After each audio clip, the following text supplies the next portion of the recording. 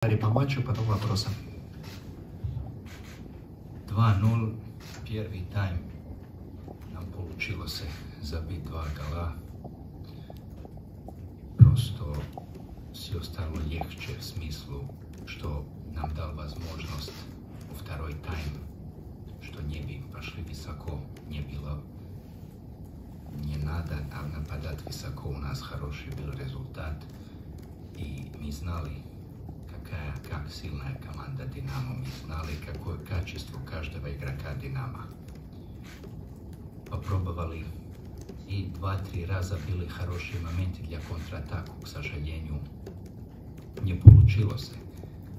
No, v kada smotriš, što ribijata oči disciplinirano, disciplinirano, zašišali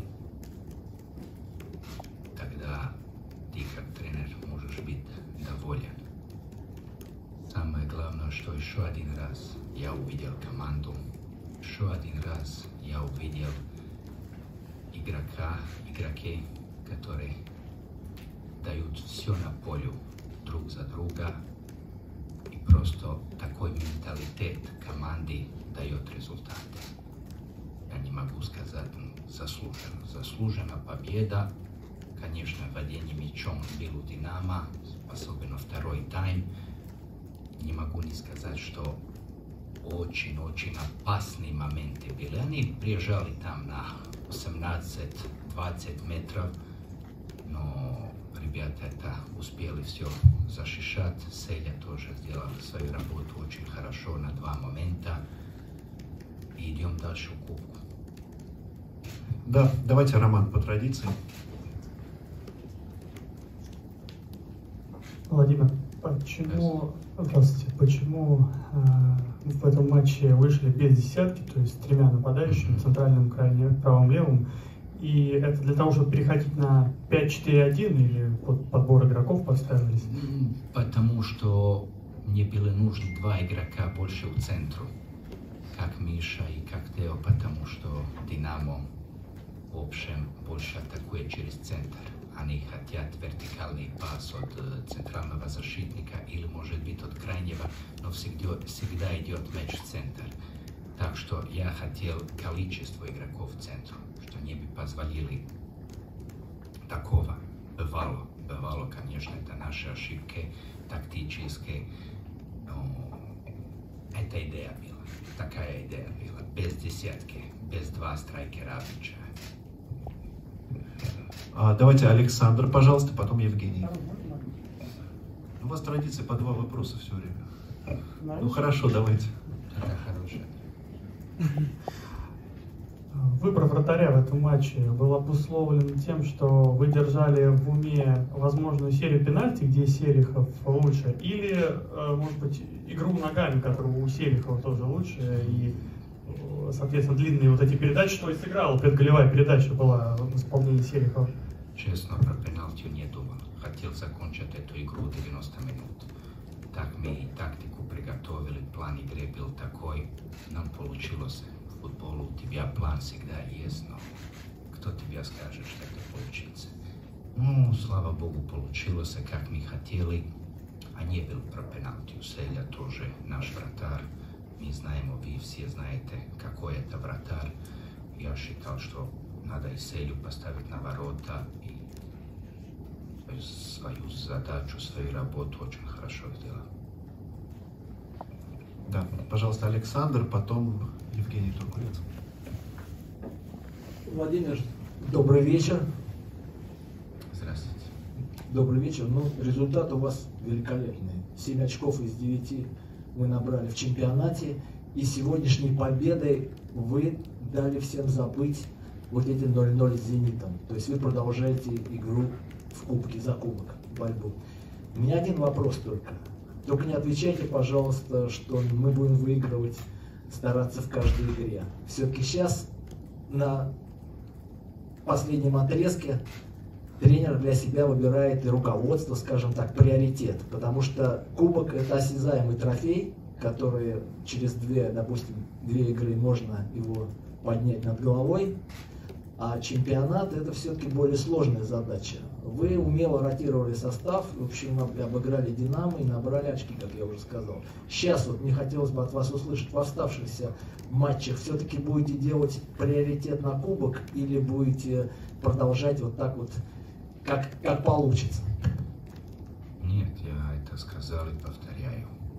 До конца, когда математика скажет, что у тебя есть возможность стать третьим, может быть и вторым или первым, мы должны за это пойти в битву для этого. Это Спартак, не можем себе позволить, да, сейчас важен кубок, а чемпионат не важен. Важно и одно, и второе. Мы так и работаем, приоритета нет, попробуем максимум с командой и увидим, что мы сделали. Да, первый ряд, пожалуйста. Владимир, ну, с победой. Это Спасибо. просто блестяще. Скажите, э, вот напрашивается сам по, себе вопрос по поводу Тео Бонгонде. Мгм. Во втором вы хвалили недавно в одном из Мгм. последних матчей, что он здорово очень отрабатывает в защите. Напрашивалось то, что ему надо прям больше вперед ходить, и у него была такая возможность во втором тайме забить гол. Мгм. Можете прокомментировать его игру вот сегодня? Я и сегодня очень доволен с Теом. Мой выбор замены был больше физической природы. Значит, нам была нужна свежая кровь. А, ну, и, и сегодня, если вы посмотрите игру, Тео играл и атаку, Тео играл и защиту. Ну, это игрок, который физически очень много потратил силы. Я считал, что, может быть, это момент сделать замену. Нет, почему, нет потому, что он что-то хорошо или плохо сделал. Просто я доволен, очень доволен с тем, как и доволен со, с каждым игроком. Так что ему надо продолжать работать, как работает, думать про футболу, как и сейчас он думает. Я уверен, Тео покажет все, что умеет, особенно в моменту атаки в, рус- в русском футболе.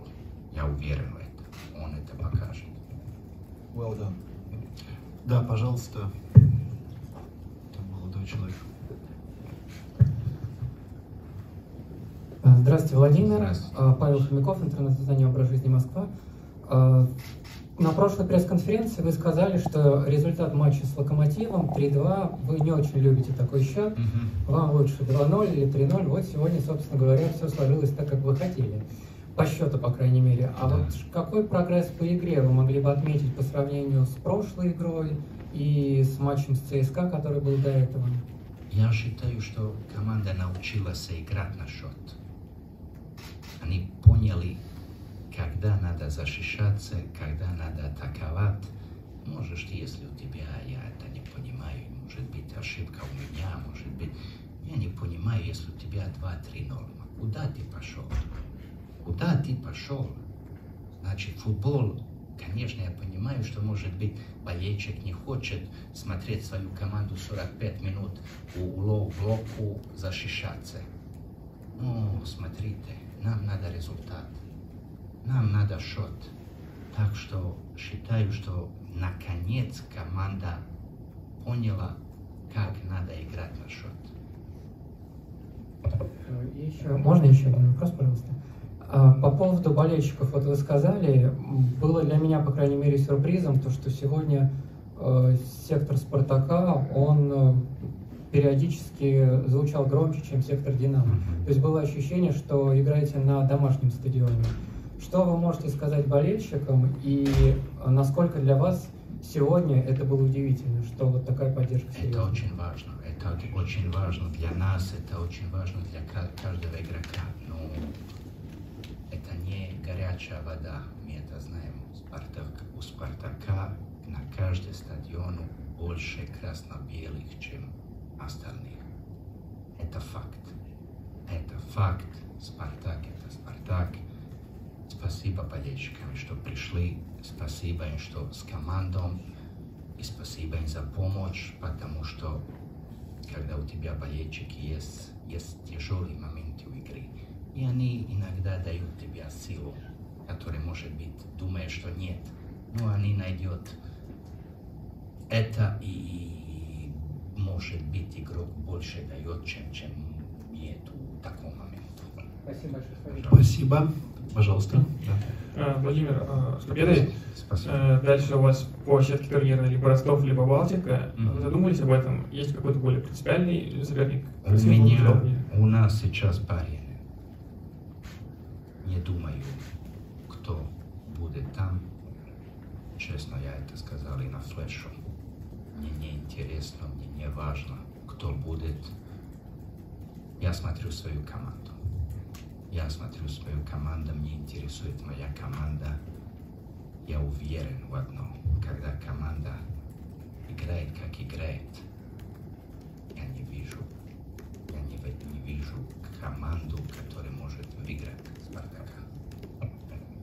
Давайте еще три вопроса. Вот девушка Андрей Вдовин и, по- по-моему, Павел, да, хотел задать? Владимир, здравствуйте. Здравствуйте. Утенова Жасмин, издание «Слово за нами». У меня будет к вам два небольших вопроса. Первый, это в начале матча из-за травмы был заменен Джан Бабич. Да. Скажите, серьезная ли у него травма? И второй вопрос, э, с чем связано то, что Александр Максименко стал прибавлять в игре? То есть сейвы на выходе постоянно и, ну, в общем, хорошая игра на воротах. Спасибо. Про, про Максию, да? Потому что Макси профессиональный игрок. Он понимает очень хорошо свою работу. Вы это не видите, но я знаю, и мы остальные знаем, как Макси хорошо работает. У Максия есть два очень-очень хороших тренера, как и у Селе, как и у Свинова. Так что я не удивлен, что он прибавил. Я это знал, что случится. А Первый вопрос про Срджану. К сожалению, риск был. Риск был, мы это знали. Получилось так, как получилось. Всегда тренеру жалко, когда происходит какая травма игроку. Но это футбол, бывает. Ему надо сейчас лечиться. Потому что у Сарджана у нас еще есть игры. Надеемся, что ничего серьезного нет. У Сарджана тоже есть евро. Так что это важный момент для игрока. Но я тоже должен сказать, что, вы, но я, я чувствовал разницу между Сарджаном и Пашей Масловым. Коллеги, два вопроса еще, пожалуйста. Андрей, Андрей отменяется. Так, Павел. А, Владимир, хочется, чтобы как-то прокомментировали игру Павла Маслова, да? Мгм. Человек, так скажем, был на волоске, чтобы уйти в аренду, но нашел в себе силы и остался в команде и показывает достаточно уверенную игру. Я это знал. Я это знал, потому что у Паши такой сильный характер. Паша, Паша идет до конца. Паша работает до конца. Он не спрашивает два раза, почему это или по- он работает. Я уверен, что когда игрок работает хорошо, ему награда приедет. Я рад про Пашу. Паша играл и очень хорошо с Алоком. И сегодня он сделал свою работу очень хорошо. Что я могу Паше сказать? Паша, продолжай свою работу, как и всегда работал. И в жизни шанс приедет всегда, потому что когда ты честно работаешь, шанс приедет.